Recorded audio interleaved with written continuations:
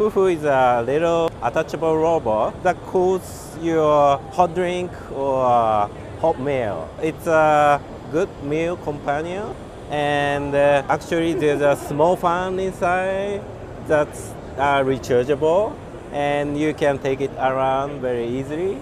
So it's a good meal companion for kids or people who are um, heat sensitive.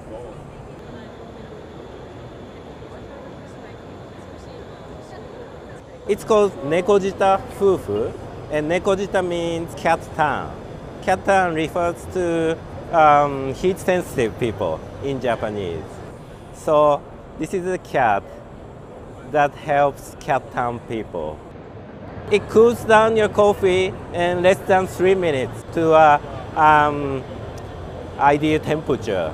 Just brew the coffee and put there and wait two, three minutes, it's fine. Yeah, so it's a lot easier. And also it's good for kids because kids are very heat sensitive and uh, if the parents help them cooling down by your blow, there's a possibility for the microgerm transmit to the kids.